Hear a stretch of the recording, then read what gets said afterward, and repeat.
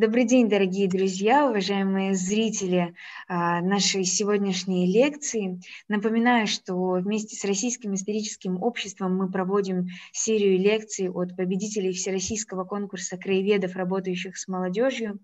А, серия наших лекций проходит под э, эгидой фестиваля «История малой Родины. История Отечества», и наши лекторы делятся своими знаниями, своим опытом и методическими наработками в области педагогики, в области преподавания истории малой Родины истории своего региона. И сегодня мы отправляемся в особенный регион, мы отправляемся в Иркутскую область для того, чтобы встретиться с Ольгой Валерьевной Григорьевой, а, учителем истории обществознания гимназии номер 8 города Ангарска. А, Ольга Валерьевна, еще раз здравствуйте. А, очень рада нашей сегодняшней встрече и не буду отвлекать наших зрителей, предлагаю сразу перейти к, нашей сегодняшнему, к нашему разговору. Здравствуйте, уважаемые коллеги. А, Иркутская область, город Ангарск. А, рады вас приветствовать. А, я надеюсь, что моя лекция будет вам полезной. Я представлю наработки, свой опыт, поделюсь своими, своими знаниями, своим опытом, своим видением на ту или иную проблему. Итак, уважаемые коллеги, а, позвольте а, представить вам а, тему, над которой я тружусь уже не первый год.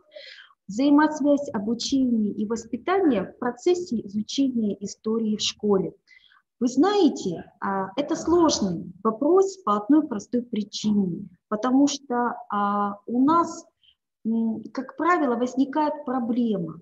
Мы встречаем какое-то событие, отмечаем а, какую-то дату, но, как правило, ситуативно, это а, фрагментарно. Мы встретили, мы ответили и забыли. А процесс воспитания не может быть фрагментарным. Процесс воспитания, на то он и процесс, это длящееся действие. Это действительно процесс, который помогает в дальнейшем формировать личность будущего гражданина нашего государства. Итак, тема, которая а, вам сегодня будет представлена, отвечает всем требованиям современного образования. Основная цель нашего современного образования заключается в соответствии актуальным и перспективным потребностям личности, общества, государства, подготовки разносторонней развитой личности, гражданина своей страны, способной к социальной адаптации в обществе, к трудовой деятельности, к саморазвитию, к самосовершенствованию.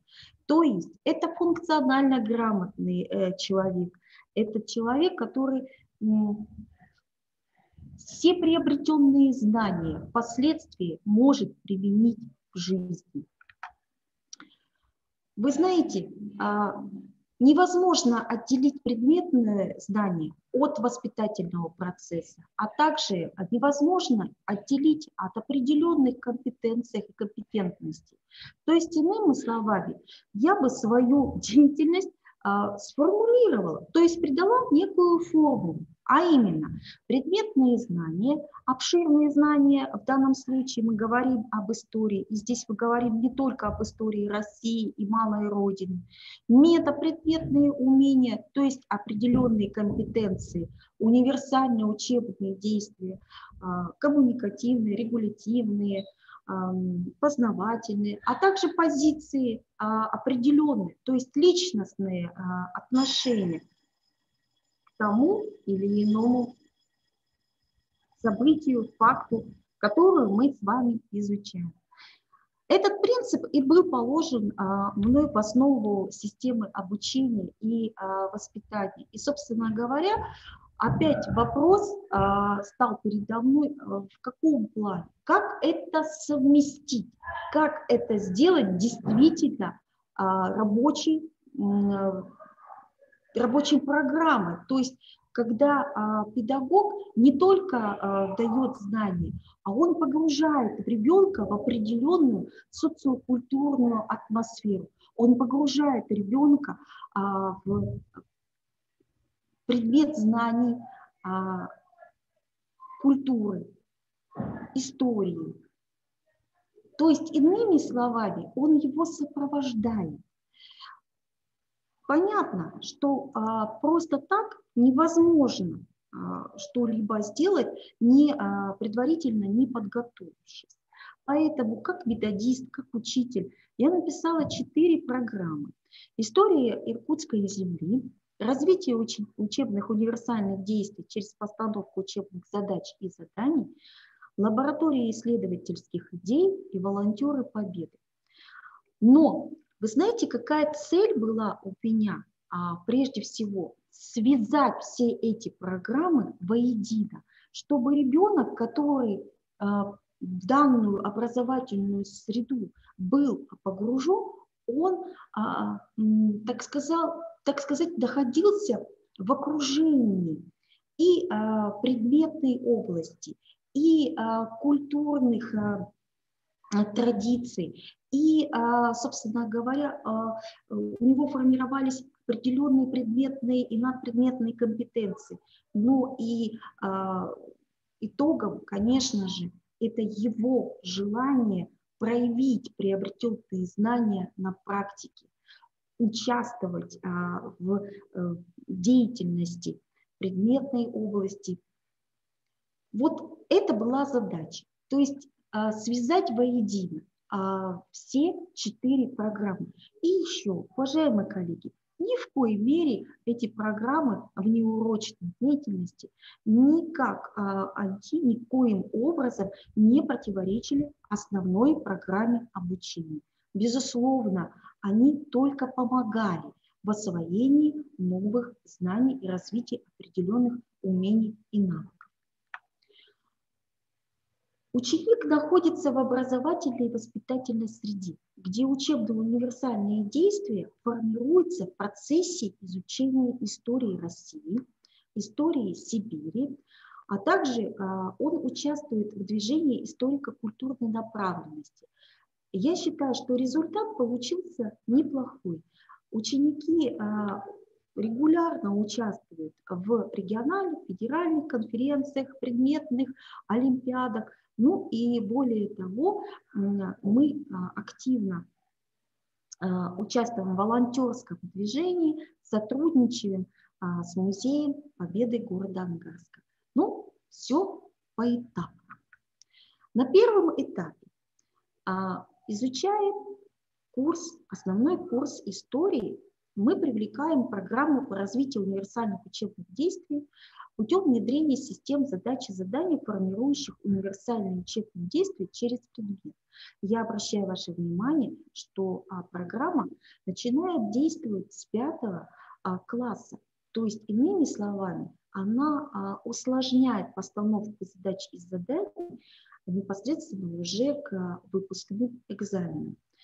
А, способность э, данной программы – это, конечно же, эффективность, благодаря которой учащиеся осваивают основную общую программу. И плюс ко всему мы формируем основы исследовательской, проектной, коммуникативной деятельности.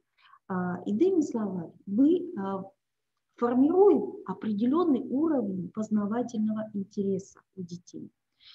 А, зачастую педагоги сталкиваются с тем, что у учеников, как правило, бывает либо пассивный уровень познавательной активности, либо ситуативный, то есть вовлеченность по, по возможности. Моя задача как педагога прежде всего перевести а, учеников, сделать, подвести их с ситуативного уровня познавательной активности к непосредственно творческому. А это самый высокий уровень познавательной активности. А, позвольте вам продемонстрировать фрагмент, всего лишь небольшой а, отрывок из программы, который вам покажет, как, собственно говоря, учитель может применить эту программу на уроке. Я обращаю ваше внимание, здесь у нас идет очень интересная взаимосвязь истории России и истории э, родного края, то есть истории Сибири. Итак, если мы формируем регулятивные универсальные действия, а именно умение самостоятельно определять цели обучения, ставить и формулировать новые задачи в учебе и познавательные действия, мы развиваем у ребенка умение анализировать, то есть э, существующие положение и планировать будущие результаты, идентифицировать проблемы, которые есть и которые э, необходимо будет решать, выдвигать версии решения проблем, ставить э, цели деятельности на основе определенной проблемы. Следовательно, типовые задачи, которые мы можем использовать на уроке, будут, а, конечно, не будут зависеть от предметной области, то есть от темы, которые мы изучаем на уроке, но тем не менее, эта задача будет направлена на планирование, на ориентировку в ситуации, прогнозирование и целеполагание. А вот как выглядят примерные задачи, а, задания. А, допустим, проанализируйте источники, которые вам представлены. Вам достаточно а, информации, чтобы сформировать представление о трудности жизни в тылу в годы Великой Отечественной войны. Или, допустим, предположите, а как жили ваши сверстники в годы Великой Отечественной войны и так далее. А вот посмотрите, уже пошла взаимосвязь истории России с. Э, непосредственно с историей родного края. Сообщите в тетради, запишите в тетради не менее трех обоснований, для чего необходимо было эвакуировать заводы и фабрики в Сибирь в годы Великой Отечественной войны. А, и могу сказать очень а, четко, ответственно заявить, что когда ты применяешь подобный подход на уроках, ты невольно уже знаешь, какой теме, какой тип задачи и какое должно быть задание сформулировано, э, сформулировано чтобы добиться наивысшего результата. Естественно, а, что, допустим, при а, коммуникативных универсальных учебных действиях, конечно, здесь идет колоссальный воспитательный компонент. Допустим, умение работать в группе, слушать а, позицию, мнение другого участника группы, выдвигать собственное суждение, но при этом не затронув личные интересы своего друга, участника в группе, причем группа может быть малая или большая. То есть, иными словами, мы здесь видим взаимосвязь процесса обучения с процессом воспитания, безусловно. На втором этапе ученики переходят к непосредственному изучению истории Сибири.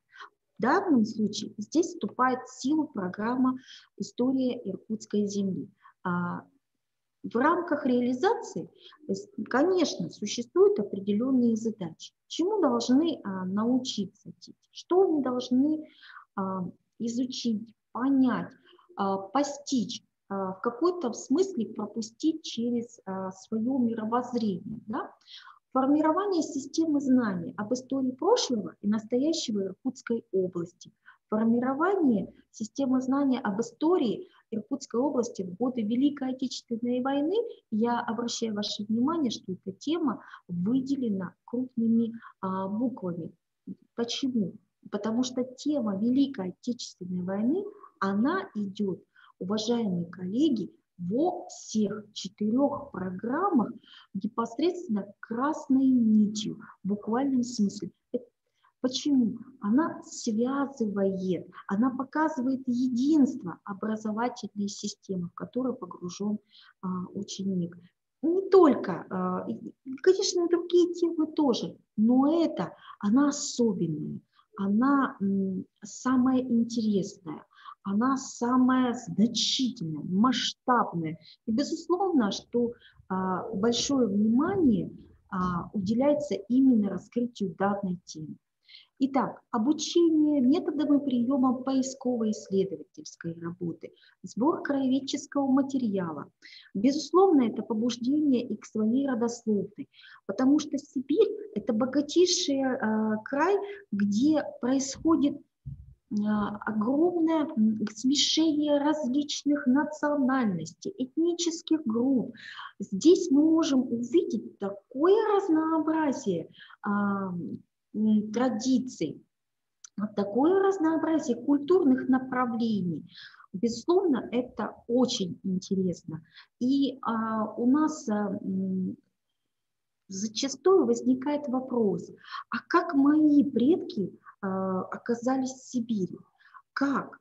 А, на каком этапе истории России вот так вот получилось, что моя семья продолжила свой путь, свое развитие здесь, на берегу Байкала, в тайге, в Иркутске или а, в Братске, или э, приехала молодая семья строить молодой город. Это безумно интересно. Обратите внимание, невозможно историю родного края удалить из истории России, потому что это одно целое.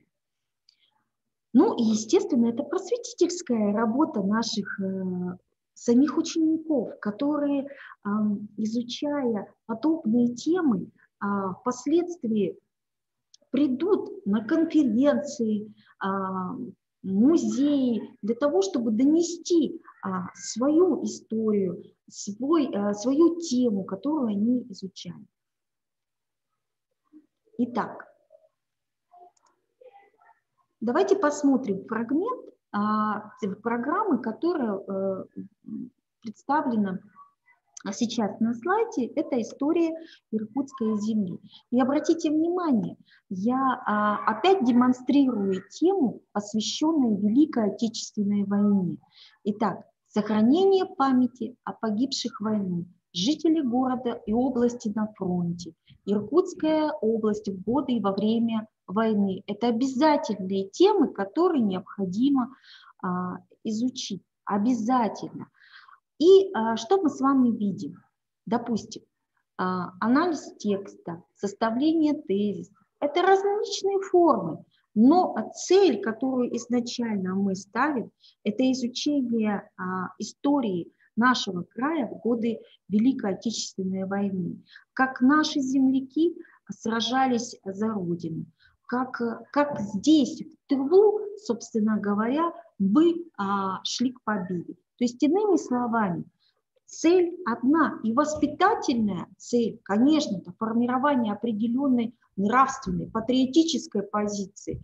А, предметная цель – это изучение истории родного края, истории а, родины своей. Я сейчас говорю и малой, и родины, я имею в виду истории России, безусловно. Вот. Но тем не менее, обратите внимание, взаимосвязь. И вот а, те приемы, которые мы с вами видели непосредственно в первой программе, то есть те э, задания, а, которые мы с вами формулировали в первой программе, мы их видим здесь непосредственно. То есть умение оценивать, умение анализировать, умение обобщать. История малой Родины, конечно, является неотъемлемой частью истории нашего государства в целом. Изучая события Иркутской земли, безусловно, период Великой Отечественной войны, это подвиг, подвиг земляков непосредственно. Но мы не только находимся в процессе познания, мы формируем определенную гражданскую позицию.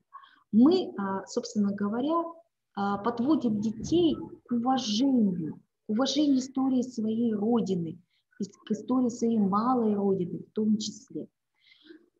Это а, определенный тип исторической нарации. Мы с вами знаем, есть масса классификации а, исторического нарратива, но мне больше всего ближе вот, в деятельности это э, классификация Юрна Рюзина, да, где он приводит всего три позиции э, систематизации э, исторической наррации. Традиционную, то есть обучающий, поучительный, как он пишет в своих трудах, да, критический и генетический.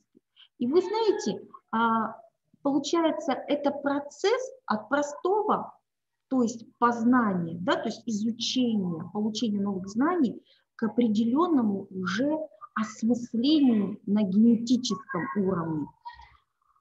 Итак, уважаемые коллеги, мы продолжаем. Критический тип нарации предполагает форму толкования исторической действительности, и проектно-исследовательская деятельность в наибольшей степени отвечает этому уровню. Она расширяет круг вопросов, которые бы ученики хотели более детально изучить. Линии исследования могут быть самыми разнообразными. Мы можем приезжать в город Иркутск, а, тем более это э, рядом, это близко. Мы можем а, посещать, музеи города, мы можем, можем посещать музеи Ангарска. А, и главное здесь от нации, чтобы у ребенка возникло желание изучать ту или иную область, чтобы у него возникло желание самому постигать новые элементы знаний. А, таким образом, мы с вами видим, что а, темы исследовательских проектных работ, которые дети пишут в процессе изучения истории Сибири, она разнообразна. То есть а, а, здесь желание самого ребенка. Какие тему, какую тему для исследования он выбирает, он выбирает сам. Итак, обратите внимание, тема исследователь. Вклад тружеников, тыл, э, тружеников тыла в дело Великой Победы. По следу предателей.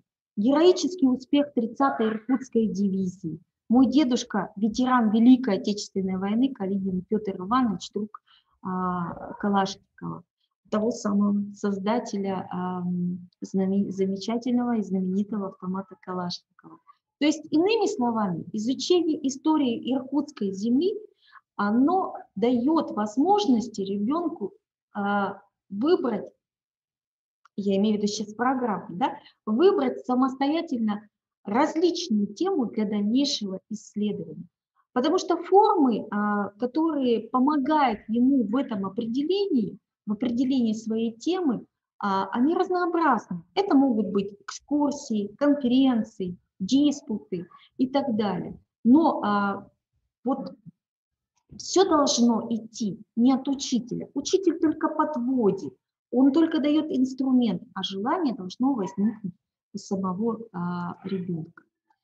Ну вот, приведу конкретный пример. А, в процессе изучения а, земли Иркутской мы очень активно стали сотрудничать с Музеем Победы города Ангарск. На самом деле у нас великолепный музей, я а, как ангарчанка горжусь этим музеем. Почему? Я немножечко вперед сейчас пролистну, чтобы объяснить более детально. Так. Дело в том, что а, во время войны а, Иван Никитич Курос возглавлял непосредственно а, следственно-оперативную группу, комиссию по расследованию преступлений а, фашистов на территории Краснодона.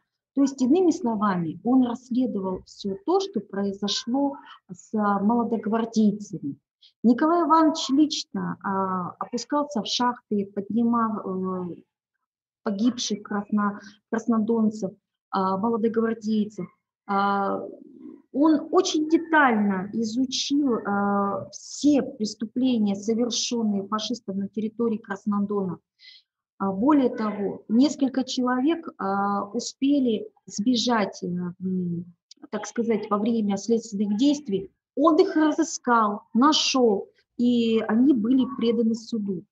Так вот, Иван Никитич Порос дал э, обязательство, что тот город, где он будет жить, вот в обязательном порядке откроет музей, а, посвященный подвигу молодой а, гвардии, городу а, Краснодону, молодогвардейцев. Свое обещание он сдержал. Он приехал в город молодой, город Ангарск, где, собственно говоря, он а, создал в 1968 году небольшую комнатку, а, посвященную а, под, подвигу молодогвардейцев. Обратите внимание, здесь личные вещи молодогвардейцев, а, которые родные и близкие передали а, Ивану Никитичу в дар. А впоследствии был построен замечательный дворец. А, вот только так можно назвать музей нашей, музей Победы. И здесь богатейшая экспозиция личных вещей молодогвардейцев. А, есть даже школьная парта, на которой, за которой сидела Ульяна Громова. Личные музыкальные инструменты Сережи Тюленева. А, то есть, э, кстати, вот это вот а, ручные полотенца, которые Ульяна Громова расшивала сама. То есть э, я вам хочу сказать, что это, безусловно, богатейшие экспонаты. И вот одна из моих учениц, э, собственно говоря, стала задумываться, а как Иван Никитич провел это расследование. И фактически она воскресила это расследование поэтапно, методично, начиная с допросов свидетелей, осмотра места происшествия, допроса потерпевших, а, очные ставки. Иными словами, она прошла весь этап следственно-оперативной группы и а, была написана а, большая исследовательская работа, которая впоследствии будет представлена на конференции, в частности, даже на международной конференции, где она стала призером. Третий этап предполагает практическую часть. Иными словами, здесь мы с вами видим определенное уже практическое применение полученных знаний. То есть когда осознание того, что ты не изучаешь историю, а ты живешь историей. И а, этому способствует еще одна программа «Волонтеры Победы». Это историко-культурная направленность, а, которая способствует курсу неурочной деятельности. Итак, самым важным, мне кажется, что это переход уже на генетический тип исторической нарации. Это самый замечательный тип, который утверждает идею преемственности, осознавая сопричастности к великим событиям в процессе исторического познания. Волонтерское движение, историко-культурной направленности – это работа в музее. Иными словами, а, когда дети сами помогали разбирать экспонаты архива, когда они находили записи 41-40 года, когда они восстанавливали, ну понятно, что не сами, не сами помогали а, в процессе восстановления документов, поиски документов. То есть, обратите внимание, это книжки красноармейцев. Допустим, а, запрос поступил в музей, восстановите ту или иную запись, и а, это можно было найти в музее, безусловно. Это очень интересная работа. В дальнейшем, а, в дальнейшем ученики представили свой опыт работы а, на а, муниципальном уровне. Почему? Они, конечно, хотели поделиться с тем, что они нашли. И в частности, безусловно, работа в музее, она не прошла даром. Волонтерское движение – это всегда огромная, огромная польза обществу и не только а, в целом обществе, а своей семье. В частности, многие ученики заинтересовались более детально, а, как семья жила в годы войны, как она а, могла выжить в таких сложных а, условиях, как воевали, как стояли у станка и так далее. То есть, иными словами, 12 мая 2020 года мы впервые запустили проект галерея славы, где пригласили не только а, детей нашей гимназии, но и, в принципе, нашего города. Ученики делились всеми своими а, знаниями о своих семьях, о своих родных и близких, которые воевали. Нам не помешала пандемия. Мы ушли в информационное пространство. Мы встретились, мы обсуждали, а, мы делились. И это было, это было здорово. Это было здорово, потому что когда дети искренне рассказывали о том, как они гордятся своими дедушками, бабушками, как они счастливы, а, что они прикоснулись к этому великому подвигу, я считаю, это замечательно. 17 школ города приняли участие. И я хочу вам напомнить, это впервые подобная а, конференция прошла именно а, в видеочате, то есть используя онлайн-технологии. Те, кто не смог участвовать, те прислали видеоролики о своих родных и близких, показывая а, эм, их фотографии, военные, какие они сейчас замечательные. К сожалению, многие ушли из жизни, но тем не менее. А, и еще, уважаемые коллеги, подводя итог, а, могу сказать следующее. В рамках традиционной исторической нарации ученики изучают историю своей земли, своей малой родины, изучают различные точки зрения, формируют при этом собственную. Они уважают мнение окружающих, потому что они учатся, что к их мнению тоже прислушиваются.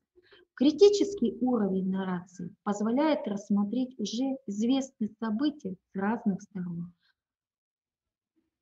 Из истории Сибири, из истории своей семьи, переосмыслить прежние заявления и явно способствует формированию личной позиции. А вот генетический тип уже позволяет изучать историю как совокупность причин и следственных связей, увидеть примеры героизма, осознать их реальность, прикоснуться, притронуться к ним и, собственно говоря, ощутить здесь на уровне, а, на уровне собственных генов, каждой клеточкой своей, что такое история семьи, история России. Это чувство эмпатии, чувство сопричастности к собственному народу, к собственной семье, которое вызывает тем самым чувство патриотизма. И патриотизм – это не пустой звук. Это действительно сопричастность своей родине, своему народу. Уважаемые коллеги, у меня все. Была рада поделиться с вами своим опытом. Спасибо большое, Ольга Валерьевна, за такой подробный рассказ. Я думаю, он будет э, интересен нашим зрителям. И, наверное, хотелось бы особенно отметить, что любовь сибиряков э, к своей родине, она особенная она особенная, о ней знает э, каждый россиянин, потому что первое, что говорит человек, э, приехавший из Сибири своему новому знакомому, он говорит, что он сибиряк. Поэтому я думаю, что здесь э, большая заслуга и учителей, и именно вот работы в области краеведения, потому что сложно любить свою родину, не зная ее. И как мне кажется, а, любовь к своей малой родине, она неразделимо идет э, с любовью к своей семье и знание именно вот э, своих корней, о чем вы сегодня говорили. Расскажите, принимают ли участие в такой деятельности исследовательской а, именно родители, а, семьи ваших учеников и каким образом происходит эта работа? Спасибо большое за вопрос. На самом деле это действительно очень важный элемент исследовательской деятельности, потому что ребенок в силу своего возраста, безусловно, он не знает историю своей а, семьи детально, настолько детально. И вот моя задача, вы уже поняли, да, подвести его, вызвать определенный интерес для того, чтобы он потом а, возле мамы или около папы, а желательно, чтобы это были э, и папа, и мама, желательно, чтобы были и бабушка, и дедушка, да. очень детально изучили. А как, собственно говоря, а, все происходило, а как у нас семья жила. Вот. И, безусловно, в этом случае у нас а, родители выступают неким источником информационным. Вы представляете, насколько это здорово, когда а, ребенок, допустим, а, изучая историю своей семьи в годы Великой Отечественной войны, он знал о том, что бабушка замечательный врач, но он не знал, что бабушка совершила подвиг на фронте, когда она три, трое суток, простите, не отходила от операционного стола. В буквальном смысле упала после этого, но она не бросила больных, а, раненых а, солдат, она совершила подвиг. И вот а, для него это было открытием, шоком. Он это настолько эмоционально переживал, понимаете? И это замечательно. То есть вы видите, опять-таки, от нарратива традиционного, да, то есть познавательного, на уровень генетики. А я, я русский, я русский. Вы представляете, что это, пережить подобные эмоции, когда каждая клеточка говорит, у тебя такой подвиг твоего народа, твоей семьи, а твоя семья – это и есть твой народ. Да, спасибо большое. И, кстати, вот э, вернувшись к народу, я привыкла не разделять э, а, российский народ на э, русских, на э, бурятов э, и так далее и тому подобное, но все-таки вот а, Иркутская область, Сибирь, Сибирь, она очень многонациональная, она богатая, и здесь э, именно содружество, вот опять мы об этом говорили, о том, что живут все в мире, а, в согласии, и даже понятия такого вот разрозненности его нет. Но все-таки я уверена, что а, эта работа проводится и в школе. Вот расскажите, как э, изучаются ли а, ребятами там, национальные особенности других народов, как это происходит у вас? Это как раз программа «История иркутской земли». То есть изначально мы из, э, изучаем в принципе историю а, земли иркутской, то есть в буквальном смысле с эпохи неолита. Понимаете, вот детально, постепенно или поэлементно мы изучаем всю историю развития нашего края. А дальше мы а, переходим уже в эпоху древнего мира, мы изучаем, а, как жили древние жителей Иркутской а, земли, ну понятно, Сибири, мы говорим Сибирь, да, так понятия не было Иркутской области, но Сибири, да, то есть мы изучаем жизнь а, тафаларов, эвенков, а, бурят, а, чукчей, то есть изучаем основные виды деятельности, культурные традиции, верование, то есть религия какая была, да, определенные, а, определенные верования. Я а, сейчас а, очень большой интерес, кстати, сама себя на минуточку, например, у детей вызывает традиции шаманизма. То есть очень детально, скрупулезно мы, мы как бы нанизываем э, каждую бусинку каждого народа, его культуру, его традиции.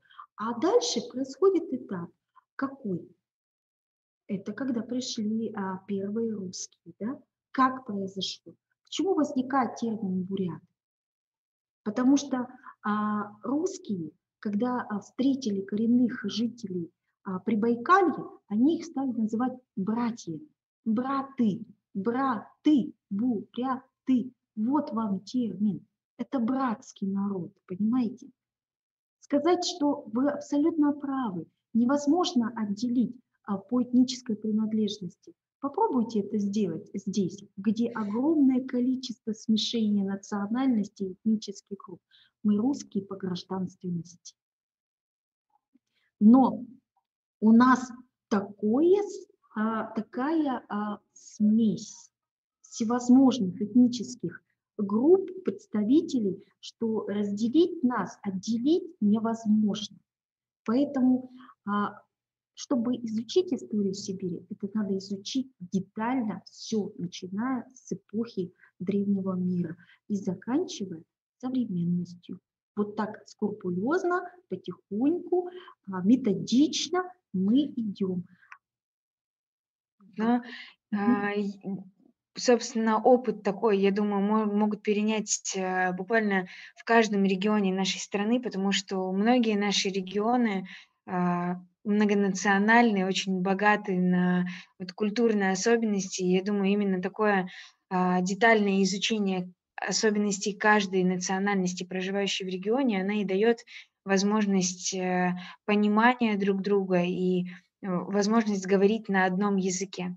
И я уверена, что ребята могут найти а, какие-то традиции, которые прижились в их семье, которые на самом деле являются традициями другого, другого народа.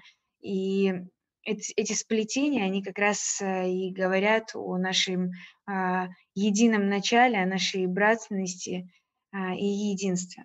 Я бы хотела очень поблагодарить вас за нашу сегодняшнюю беседу, передать привет э, всем ребятам вашей гимназии, педагогическому составу от Российского исторического общества. Это был очень интересный разговор, очень интересная и, я уверена, полезная лекция. Я напоминаю нашим зрителям о том, что в 18.00 по московскому времени мы встретимся с вами вновь, чтобы а, открыть для себя методики работы еще одного нашего победителя. Ну а пока я прощаюсь, э, говорю до скорых встреч. Всего доброго, еще раз спасибо.